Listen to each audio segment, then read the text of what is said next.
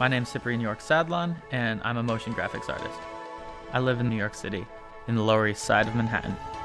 Being a motion graphics artist sort of took seed in me at an early age. I tried out with 3D, and I found myself combining film with graphics, and it really spoke to design as well as story, and it led me into a career where I could do both.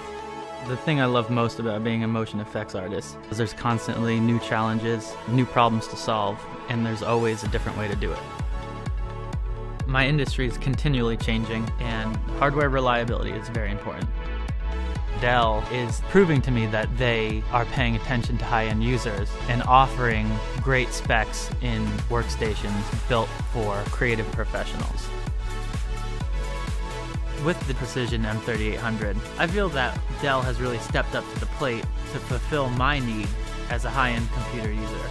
I couldn't believe how much RAM, how much processing speed was crammed into such a little computer. A workstation designed for a motion graphics artist will have an NVIDIA graphics card, and you know it's going to work properly with After Effects, Photoshop, and Illustrator.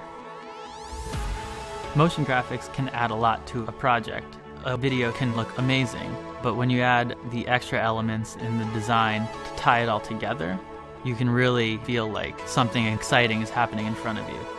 I primarily use Adobe Creative Cloud. I am very happy with the way it has changed over the years. I know that I'm always up to date and I'm always going to have the software I need, even if I need to jump on somebody else's computer. I think one of the greatest things you could be told is that you brought to life the ideas that other people maybe couldn't visualize. And just knowing that you succeeded at that is a great feeling.